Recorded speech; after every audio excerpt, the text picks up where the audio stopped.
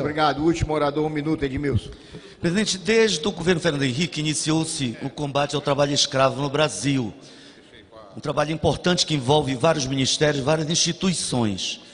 Infelizmente, o presidente Temer cortou drasticamente os recursos em 2017. Só no Pará desceu de 800 mil, menos de um milhão, para 240 mil. Isso implicou num corte de 58% da fiscalização e numa redução em 76% do número de resgatados. Enquanto isso, quero pedir a leitura de uma importante análise feita pela Auditoria Cidadã da Dívida, que mostra que para comprar votos e manter a impunidade, o presidente Temer, na reunião com empresários e com os jornalistas, anistiará 220 bilhões de dívidas. Pasmem brasileiros. 220 bilhões. Isto é um montante maior.